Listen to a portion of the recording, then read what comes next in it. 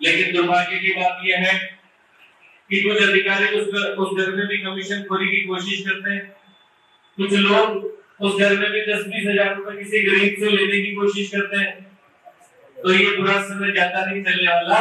राजस्थान में वापस कांग्रेस की सरकार आएगी और कोई भी गरीब से कोई अधिकारी कर्मचारी एक रुपया लेने की हिम्मत नहीं कर पाएगा। तो आगे चलाओ।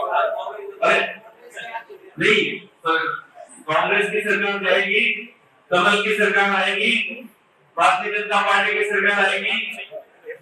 तो यार आप पीछे बैठ जाओ मेरा ध्यान चुका दिया अमर, क्या कि तुम ध्यान आप बैठ जाओ। अरे मैं बोल दूँगा आप बोल दो या आप बोल दो, या मेरे भरोसा कर दो। क्या ऐसे ध्यान चुकता है